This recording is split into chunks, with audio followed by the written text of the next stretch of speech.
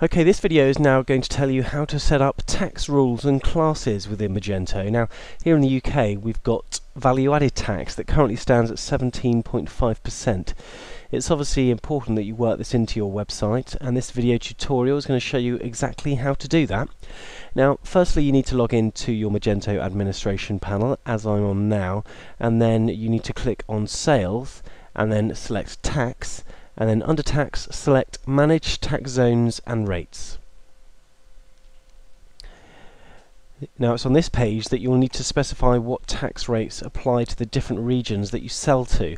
There are two default United States regions that are already set on your store but we're going to ignore those for now. So let's just click add new tax rate. Now, being in the United Kingdom, we do ship to the mainland UK, but also to the Republic of Ireland, which is a completely separate entity. Many people don't actually realise that.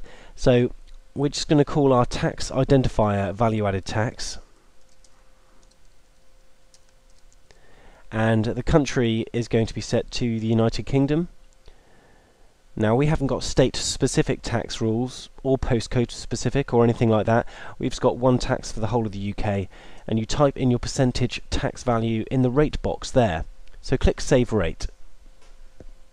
Now should you wish to add more zones, countries and states etc just click the add new tax rate button and then do the same job again.